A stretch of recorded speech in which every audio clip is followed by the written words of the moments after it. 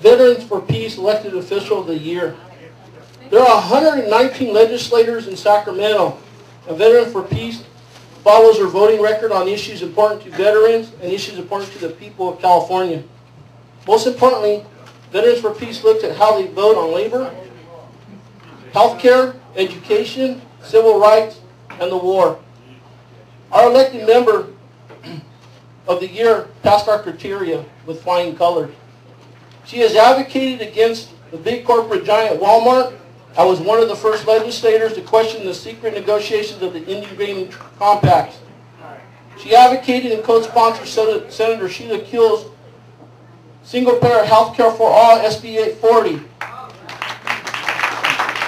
She offered the marriage equality bill for same-sex couples.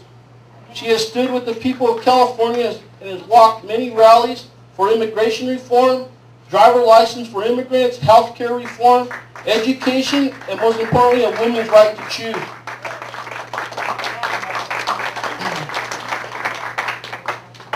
During the peace rallies last year, she joined protesters in a rally against the war.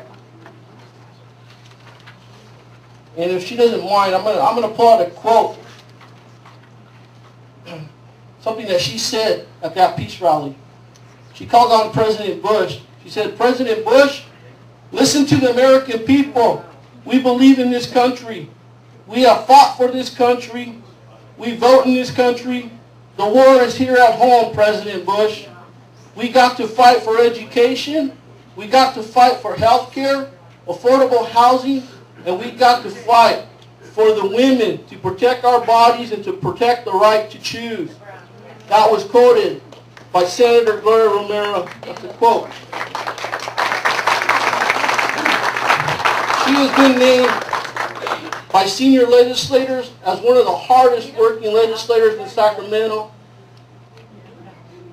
She holds a PhD in psychology here in our own backyard from the University of California, Riverside.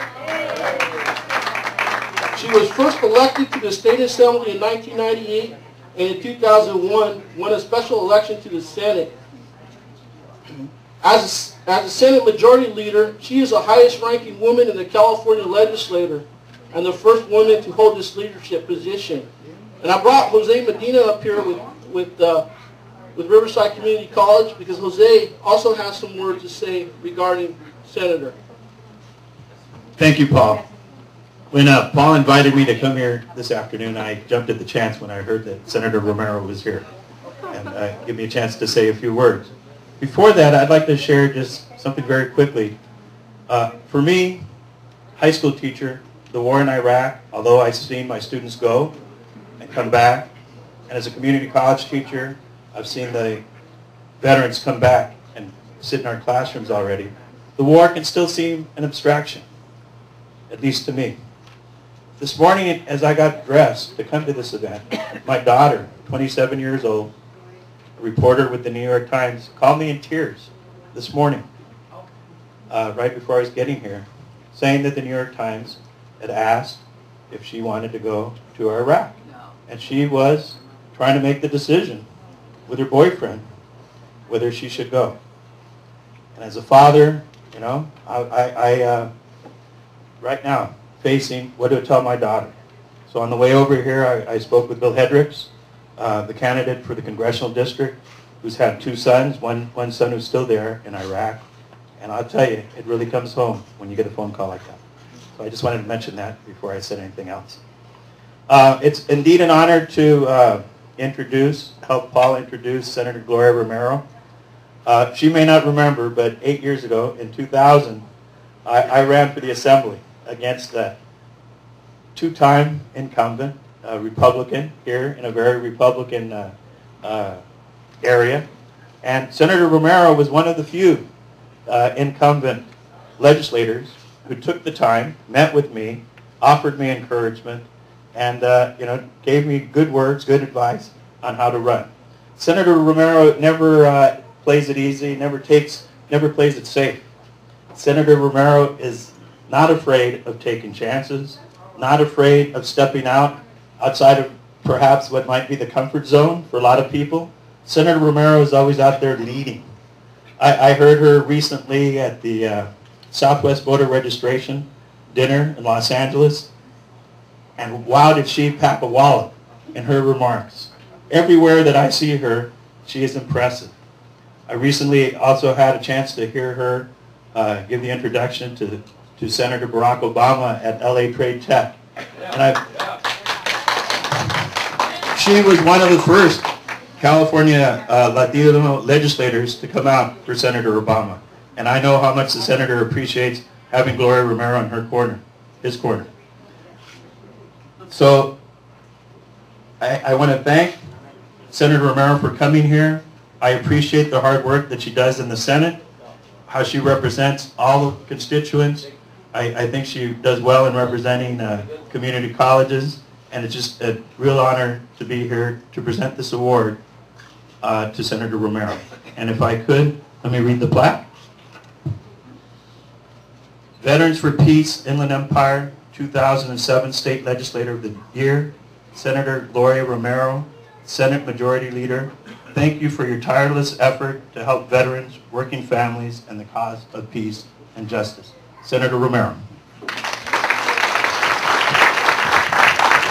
Yeah, Senator Romero.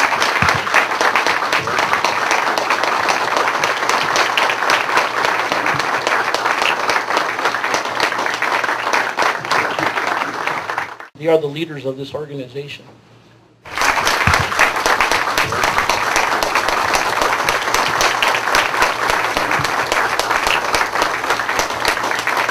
And today I'm here receiving this award from Veterans for Peace because I think at the end of the day, what it means is that it's up to us what kind of a country we want.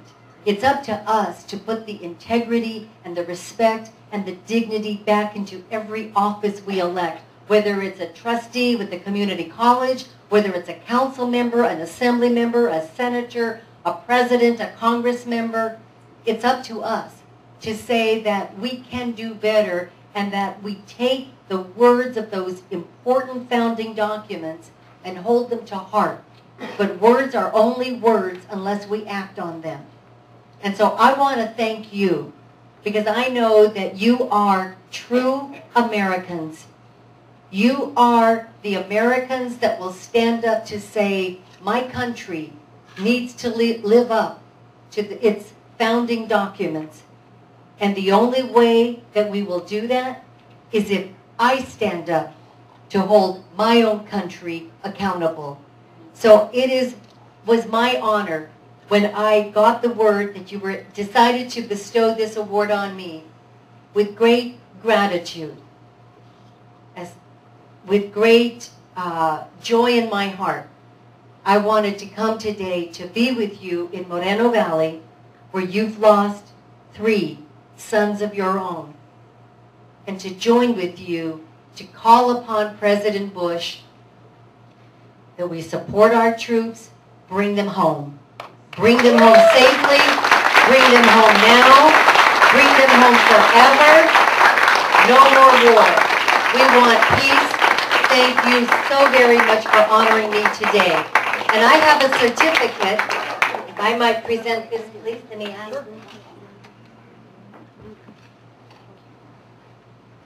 I have a certificate. This is from the California State Senate, and this is a certificate of recognition that I want to present to you. Veterans for Peace, Joe Castro chapter, in recognition of your dedication to promoting peace and progressive policies for veterans and all Californians. Si se puede, yes we can.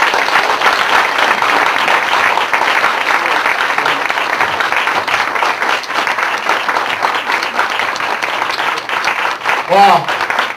See? You guys see why she's our elected legislator of the year? Yeah.